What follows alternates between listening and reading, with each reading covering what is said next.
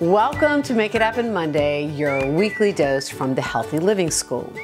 I have received lots of questions over the past year or so regarding concerns about heavy metals in dark chocolate bars, my most treasured and top rated healthy dessert.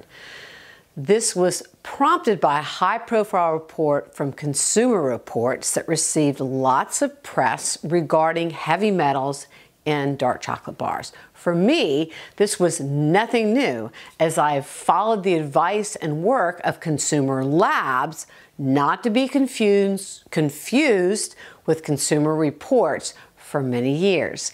Consumer Labs is a highly respected consumer watchdog group that specifically focuses on the health value and the safety of supplements and functional foods. They reported on the presence of excessive amounts of heavy metals in some dark chocolate bars years ago.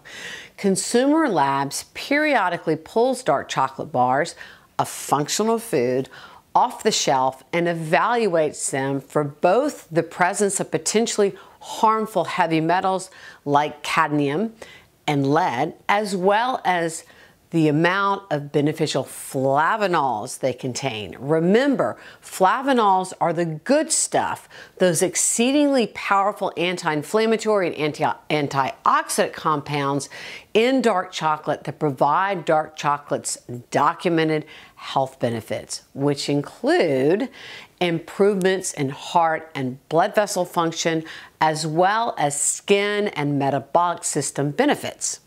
The name of the game in choosing dark chocolate is finding a brand that is high in flavanols yet low in heavy metals. Specifically, a level of heavy metals that is under the published safety limits. Thankfully, there are some great ones that fit the bill. Your best option, based on evaluations by Consumer Labs, who I trust, is 72% Ghirardelli dark chocolate bars. This brand is broadly available and one of the best values in terms of how much you pay to get such a big dose of flavanols. To give you perspective, this brand offers two to four times more flavanols than most bars tested. So it really makes a difference to know what you are buying. If you want to see all the specifics for yourself, including where many other brands landed, in the mix in terms of heavy metals and flavanols, you can do what I do and subscribe to consumerlabs.com. Otherwise, enjoy up to two squares once a day of Ghirardelli 72%.